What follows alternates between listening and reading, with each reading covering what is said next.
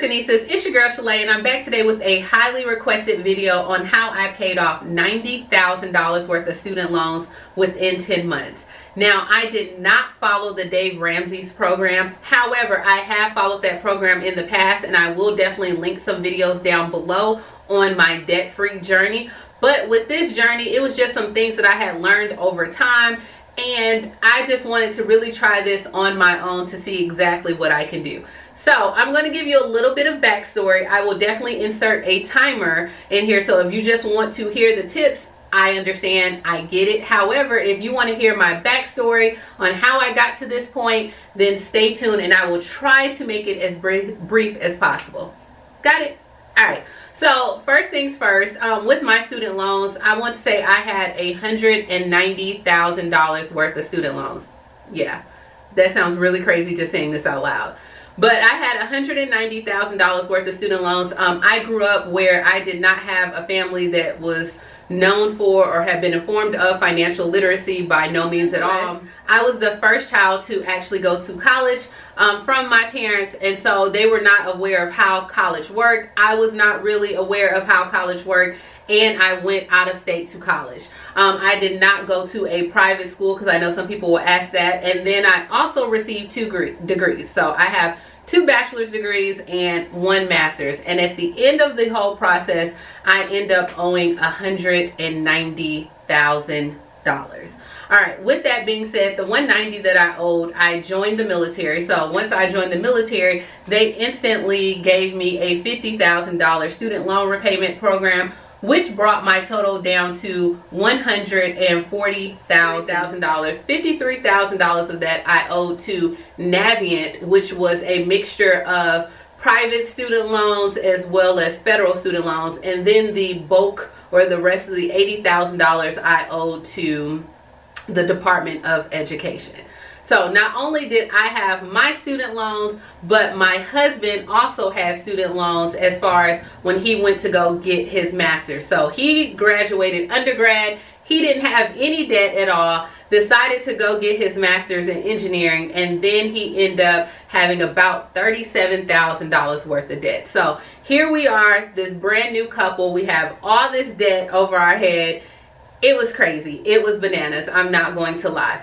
But what I end up doing was I told my husband one like I end up going to the thrift store and I started just buying books on finances and just started reading and really started developing myself. And I was like you know what? It's not that bad at all. So I want to encourage anyone in this video if you have a lot of student loans and you just feel like you're stuck in the mud you don't know what to do you don't know how you're going to do it I promise you it does get better. Just really devise a plan.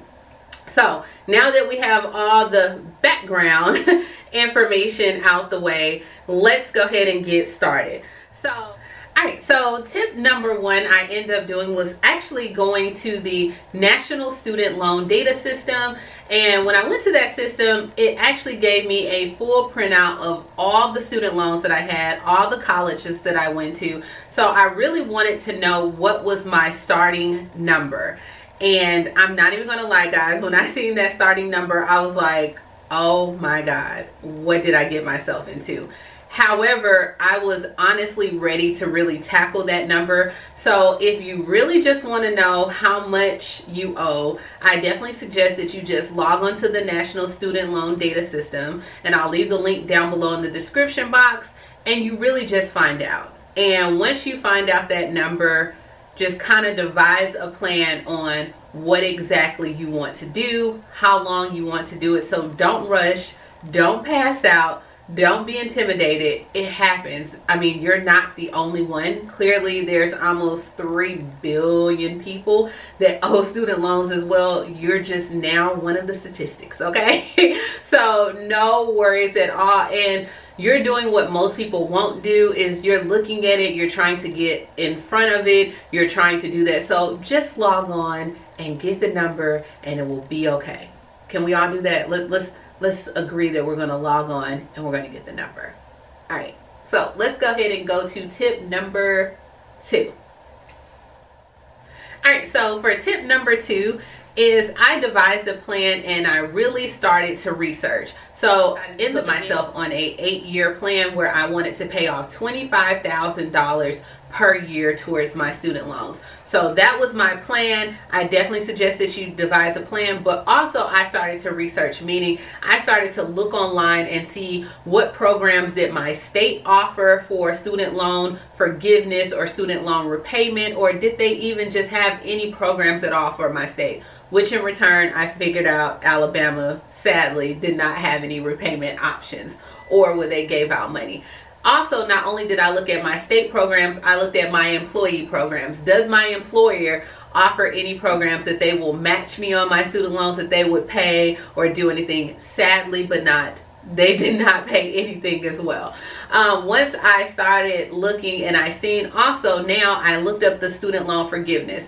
The student loan forgiveness program, I did qualify because I am military. However, that program does have where you have to wait almost 10 years. And you see the big controversy right now where some student loans are being repaid. So many applications were submitted and I think to this date they only paid out like 315. So I'm like, did I want to wait for 10 full years and don't know if I will even be in that number to get my student loan repaid? that was not something that I wanted to do at all. So then when I started researching, I noticed that private loans has a whole different set of rules than federal student loans have. So if you have private loans, you can actually submit for private loans under mitigating circumstances. You can also submit if you have any type of disability. You can also submit if you filed bankruptcy. So a lot of times we hear what the news put out and they say, hey, you must be 100% disabled or you must have this to get your student loans forgiven. That is not the case at all. You can actually call for private loans and see if there's anything or any circumstance that you can actually file for. And this took off a big chunk of my money. So I actually called um, the student loan, I called Navient and I said, hey, I am ready to pay you. is there anything that I qualify for? I told them that, hey, I have served in two wars. I am in the military. I told them all this information. What do I qualify for? They told me nothing. So I was of course disappointed. However, even though I was disappointed, to me it just did not make sense that there was nothing that I qualified for. So I called almost every single day or every other day because I'm like there has to be some there has to be something that I qualify for. I don't know. I'm left-handed.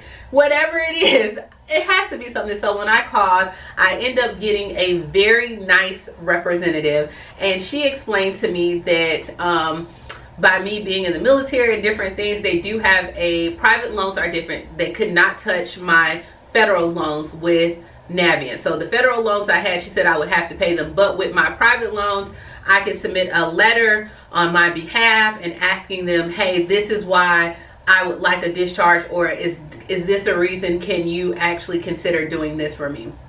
I submitted she said it takes four to six weeks to find out. Guys guess what? Guess what? Like oh my god guess what? They approved my discharge. When they end up approving my discharge they approved my discharge i think it was for like twenty five thousand dollars so remember, I said I only wanted to pay $25,000 a year towards my debt. So in my mind, I've knocked a completely one year off my debt program. So I was too ecstatic. And so I had never known about this. I was looking, I was researching. There was a lot of different things online. So I would say for the time that I took to research, it yielded me $25,000. So it was definitely well worth me doing the research. And that's what i'm going to say to you. Make sure you start to research if you're a single mom. Is there any programs anything? There has to be something out there. And so i would definitely say research continue to call your servicer see if there's anything at all. So that is tip number two devise a plan and research.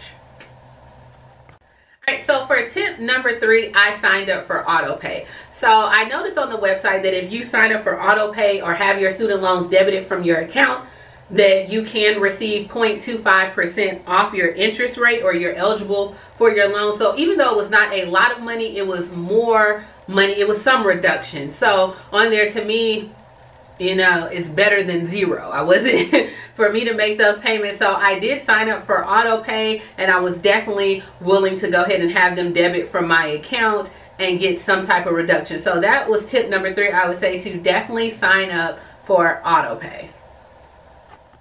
Tip number four is I enrolled in school. Now, by me enrolling in school, no, I did not take out any more student loans by no means at all. I've learned that lesson, okay? But my employer does offer where they will pay for you to go to school each year towards a degree seeking program. So I said, you know what, if I'm working here anyway, I might as well take advantage of the benefit that's offered to me. And also by enrolling in school for my student loans, it stopped the interest rate and it stopped my payments on them. So I know there's going to be a lot of backlash in the comments and they'll be like, well, your student loans still accrue interest and they still do all this. That's why I'm going to tell you that's watching this video to make sure you research and not listen to what other people tell you. Not all servicers will still charge you student loans while you're in, um, charge you interest while you're enrolled in school. And so my student loans, they did not charge any interest while I was enrolled in school. So for me, it's just like, okay, this allows me to be in school,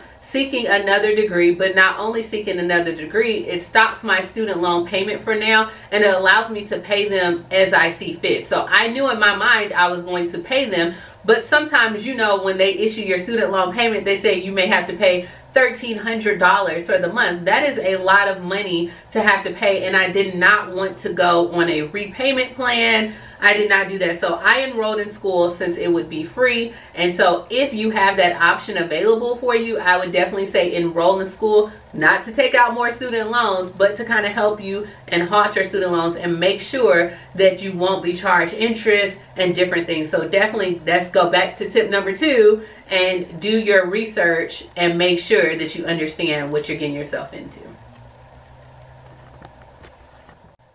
So for tip number five, I signed up for a bi-weekly payment. So you already know I enrolled in auto pay. Not only did I enroll in auto pay, but I signed up for them to debit out of my account every two weeks.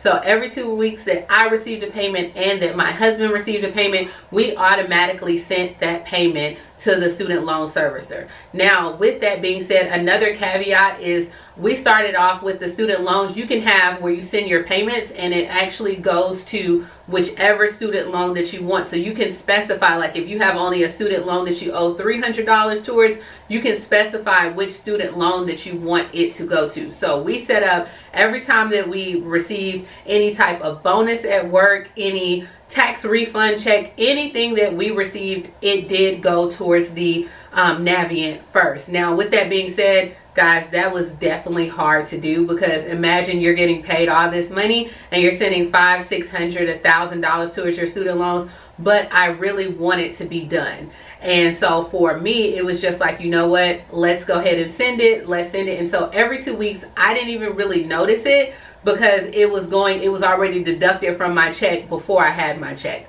So it was like by the time as soon as my check hit my account the money was being pulled out. And it was kind of like it it made me not able to spend at stores because I knew that that student loan transaction would be pending. So it kind of curbed my spending habits because you know that every two weeks like clockwork, you're going to have to pay Navi and Sallie Mae. You're going to have to do that. So I signed up for auto pay. So let's go ahead and go to the next tip.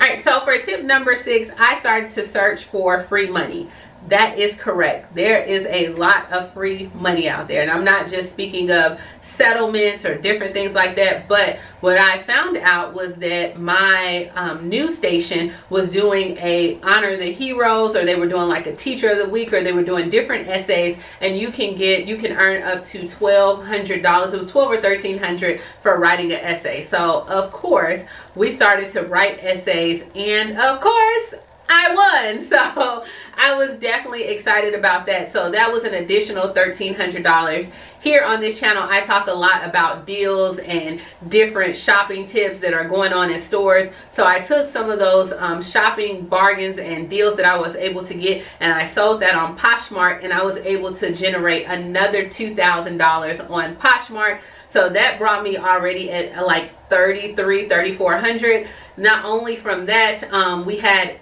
obviously in the military we had different re-enlistment bonuses not only reenlistment bonuses, but if you were willing to change your job, if you were willing to do that. So that was another $10,000 that I was able to receive. So on there, I would say definitely start to research all free money for tip number five because you just never know. There may be essays that you can write not only are there essays that you can write it may be that if you sign up to do different research that you can earn money doing this. So it was not really anything that was out of the norm. I did not have to go clock in another job. I did not have to go give my left kidney away. I didn't have to do any of that. The only thing i had to do was take out a little time write an essay um, and sell some of the things on poshmark. So that knocked off another just say 13 to 15,000 on the free money that I was able to secure. And not only was I able to secure um, the free money, but obviously I'm on YouTube. So you're able to get paid from YouTube. And this is a super easy way platform for you to make money on. So between YouTube, Poshmark, um, not only that, but searching out for free money, writing different things, you can definitely find a lot of money out there easily. Easily. Okay so let's go ahead and go on to tip number seven. All right so for tip number seven i capitalize on free services not only free services but i bartered with the services that i have. Um, so for example like I get it. You're going to have to spend some money on different items that you normally use, such as like you getting your hair done or you needing a haircut or different things like that. So for me, um, I signed up to be a hair model for one of the local beauticians, which means I was able to get my hair trimmed and cut and just everything at no cost at all for being one of her hair models. Not only did I do that, but I capitalized on like free vacations at work. So at my job, if we do very well, they have different events throughout the year where you may have to do work travel and go and attend, which I was able to go to Chicago. My husband was able, he had a few work trips. So what we did was capitalize on the work trips that we had and made them kind of like our vacation trips as well. So we didn't have to spend um, money on vacation as well as if there were local stores or boutiques that needed for like say if they wanted to do video footage by no means am i a videographer but i am on youtube and a lot of people aspire to be on youtube or they just aspire to create content and they're not sure how to do it. So it was easy for me to offer my services and say hey let's go ahead and trade for this this and that. So i did do that as well and then also I have a blog which is thriftinghuntsville.com. Now I don't update that blog as much as I should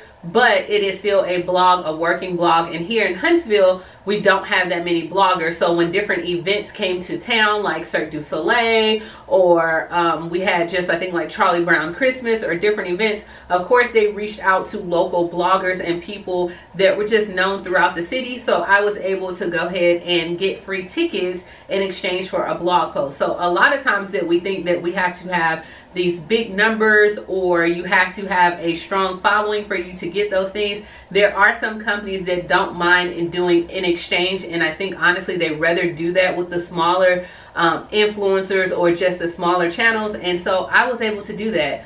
Youtube i was able to actually do exchange videos for clothing not only clothing um, just for different items. So a lot of times you don't have to have those big numbers because some people that are starting their business they don't have a big budget either. So it's more of hey can we give you this in exchange for this? And sometimes you can do that. And so for 2019 i definitely capitalized on those opportunities. And so it was able to save me some money and i was able to get out and still enjoy myself and not feel as restricted where i could not go to a restaurant or i could not do any of those things. So let's go ahead and bring it home. Last but not least guys i'm gonna say is tip number eight is that you can do it okay? I know it may seem hard. I know it may just seem like right now you're living paycheck to paycheck. But of course like i said you have to eat the elephant one bite at a time. So you have to really just devise that plan. And maybe right now you're not in a position where you can even pay five dollars towards your student loans. But make sure you stay on top of it make it known. Do not try to go into um, collection status and just work with them. The more that you take you know i guess take control of your situation and get in front of it, the better off that you will be. And put in the work like do the work. If it takes that you have to get an additional job or if you have to get off social media or if you have to do certain things i promise you it will work out for you in the end. And while i'm not finished paying off my student loans by no means I knocked out $90,000 in 2019. Okay, so that is a big feat for me. And not only is that a big feat for me, but now all I owe is $80,000. Like I am completely debt free except for my house and the $80,000 of student loans. And so if I paid off 90,000 in one year, what do you think I'm trying to do this year? what do you think? Do you think I'm just about to vacation? No, I want to pay off. And if we can pay off $80,000 this year, then what do you think I'm gonna try to do next? Pay off my house. So it gives you that momentum. It gets it going for you where you're just like, wow, I can do this thing. And if I can do it, guys, I know for a fact that you can do it. So comment down below. Let me know how much do you owe in student loans? Do you have a plan? Are you scared? what's stopping you what can you do we are only in the first month of 2020 so if we're only in the first month. You have 11 more months to get this thing together. And maybe your goal is just to get on track or not live paycheck paycheck to paycheck. Whatever that looks like comment down below. We can hold ourselves accountable come back next year at this time and we'll check in and see how much we owe. But you have to start somewhere. So don't think you know don't despise small beginnings okay? Definitely. So please like comment subscribe and if you want to see some sales deals or you know what what you can do to make that money stretch a little bit you already know what to do. Tune into this channel and i got you. All right talk to you later. Bye